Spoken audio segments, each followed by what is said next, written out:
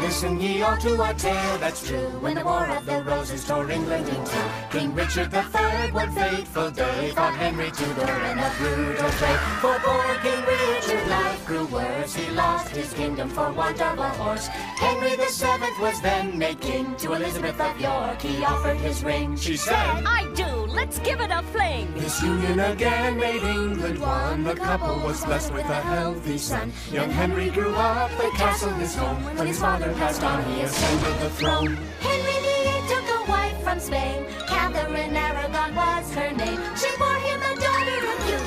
One. But to keep the throne, he needed a son. Back then, that's how things were done. For girls, it really wasn't much fun. Their rocky marriage couldn't get worse, but the Pope refused to grant a divorce. So Henry started a church of his own. He got his divorce and stayed on the throne. Then Henry VIII wed Anne Boleyn, his former wife, his handmaiden. Anne gave birth to Elizabeth, but with no male kin. Well, you do the math. Poor Anne Boleyn, she lost her head. So once again King Henry wed. Jane Seymour gave to him a prince. But poor old Jane hasn't woken up since. So for a while our Henry grieves. Then he marries Anne of Cleves. Anne came from fine German stock. She had a face that could stop a clock.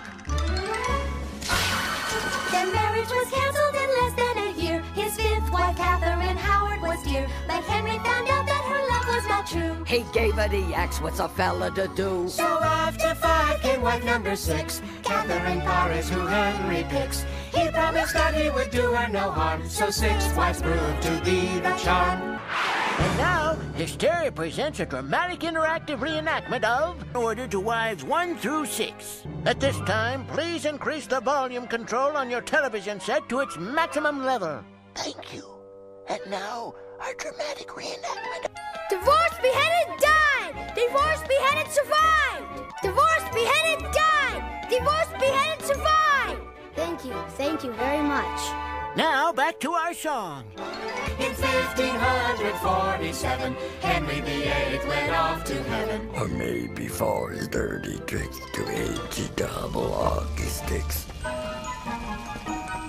His young son Edward was only ten when he took the English throne. But then poor Edward died by age 15. His reign was followed by a queen. Jane Grey ruled for just nine days. She lost a head, to coin a phrase. Mary Tudor was next in line. The British throne is mine, mine, mine.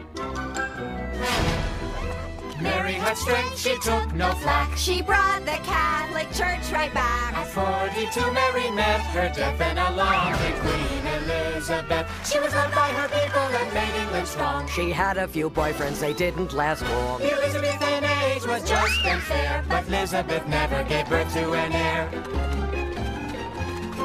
And so we sing our last refrain. The end finally came to the Tudors' reign. Elizabeth died in 1603. The end of the Tudors' family tree. The end of the Tudors. There could be no disputers. The end of the Tudors' family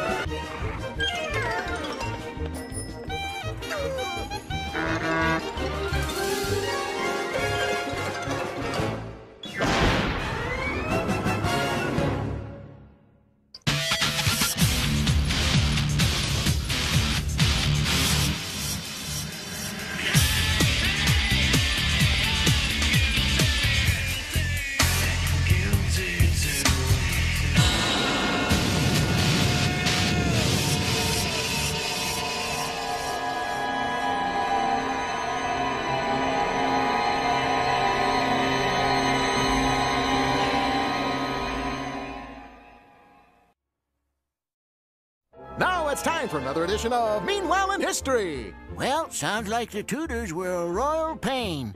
But that's not all that happened during the years they reigned. So let's review.